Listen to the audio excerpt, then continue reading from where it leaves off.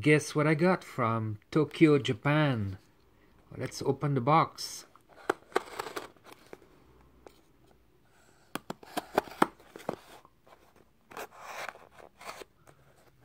Pretty excited about this package.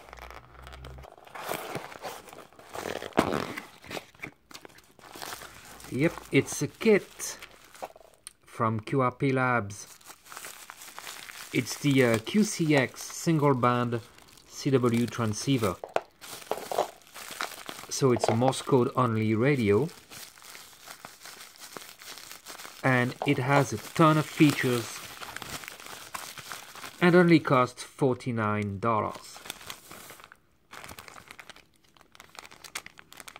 Components circuit board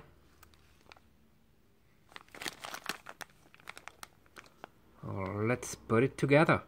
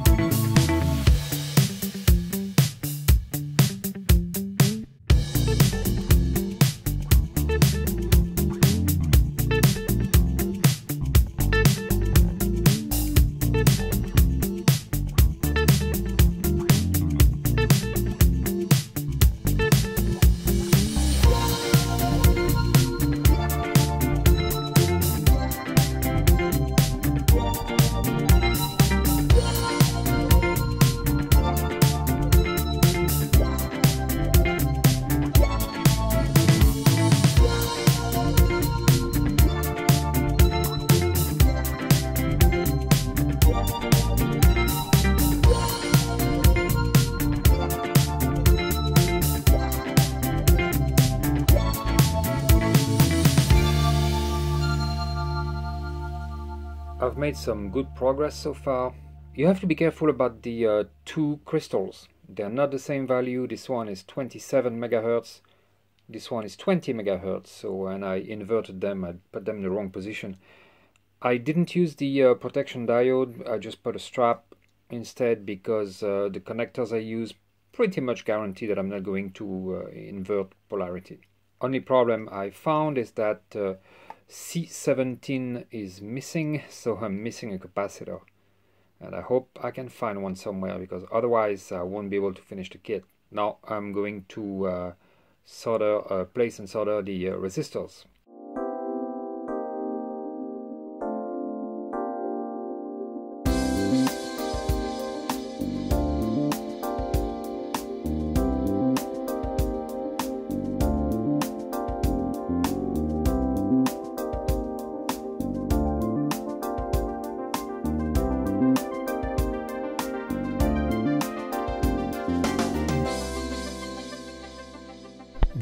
T1 transformer was pretty hard to wind, uh, 68 turns for 80 meters and it looks pretty ugly. But uh, mm, I guess you have no choice. And here you see it on the board. I hope I wired it correctly. And uh, you can see here it doesn't look pretty but uh, what can you do? And now I'm soldering the uh, LCD screen and that will be the last step before uh, turning it on actually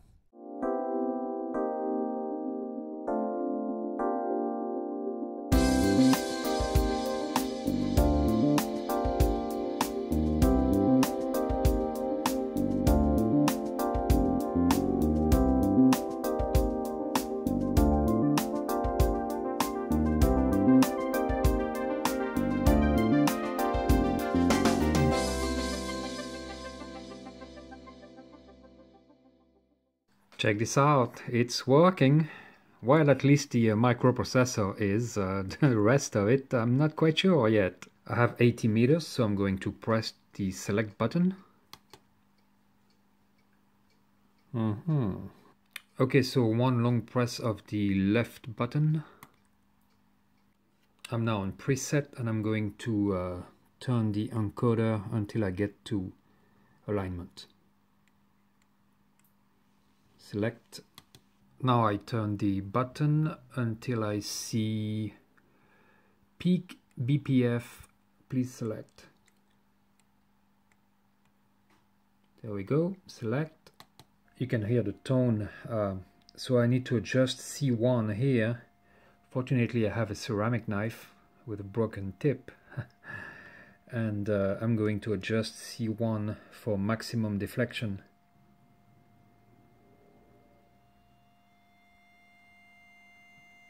You can hear the tone. I plugged in some earphones.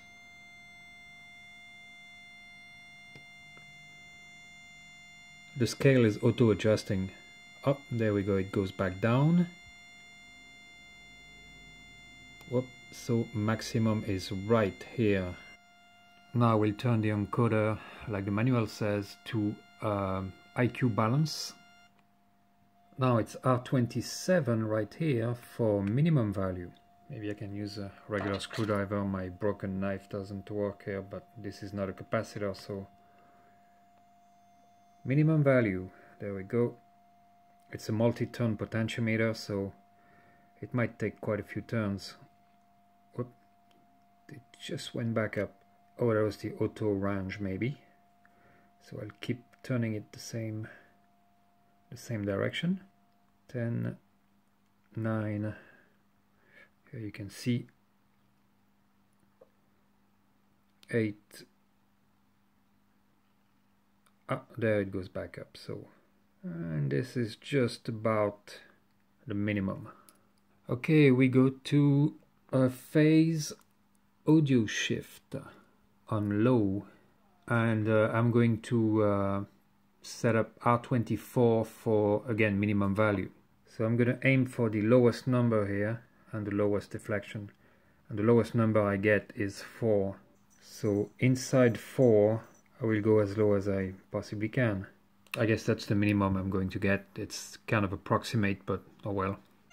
Now I have to do the uh, bandpass filter again because um, those adjustments uh, influence each other. So I need to make sure that uh, I might have to do it two or three times. Phase high um, did I miss that Yes, phase high, and that's uh, the last potentiometer here. R17 uh, again for minimum, and I'm on 9, number 9 here. 7, 6, 4, uh, it's about, yeah, it's around, ah, I have a 3 here. Okay, this is just about the minimum. So I went through the uh, four items uh, of the alignment uh, maybe four or five times and I think I got it right. Uh, now I just have to plug in an antenna and see if I hear some Morse code. Well, at least I can check to see if the key works. Yep, keyer mode, iambic A, B. I'm not even sure what I'm using. Let's try A. Of course I should be reading the manual. Well, the uh, side tone uh, sounds awful. but uh, that might be the side tone volume. So I guess I don't want iambic A. I think it, it is. I think it's B. Clear. Iambic B.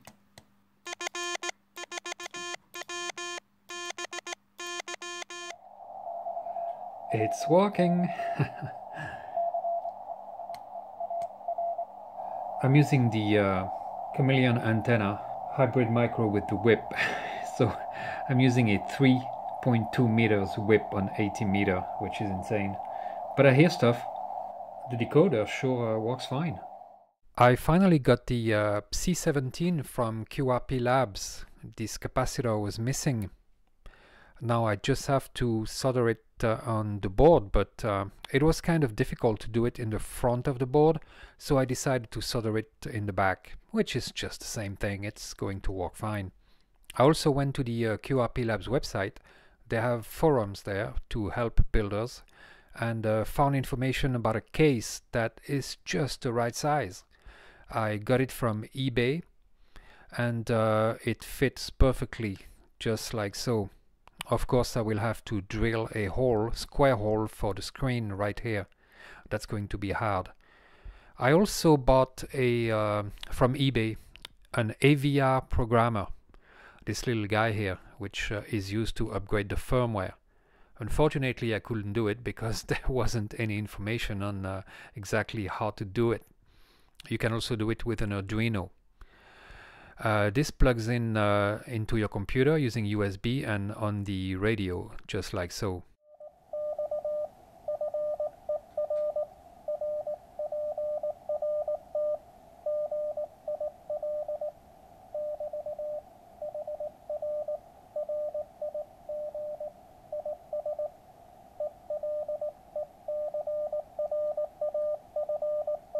Aircraft. K3, nice. 100 watts.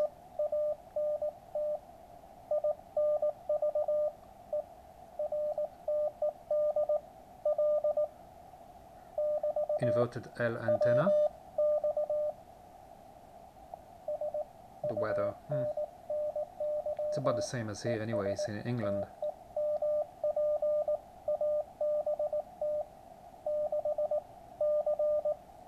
7 degrees, yeah, Celsius.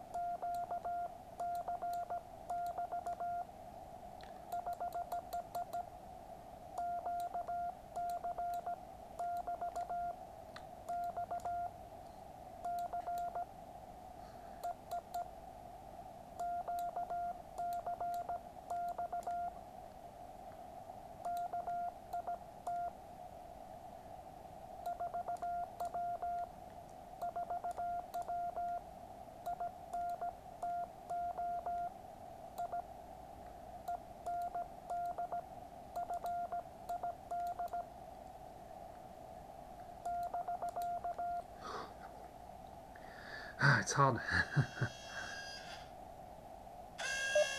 oh, the phone is ringing. I'll take it later.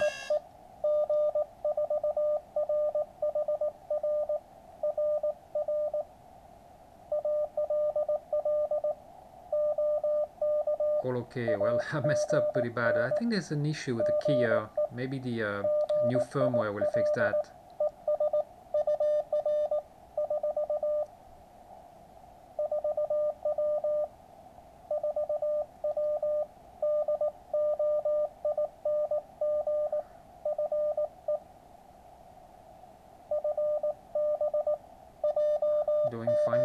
Yeah, 4 watts. I'm assuming 4 watts.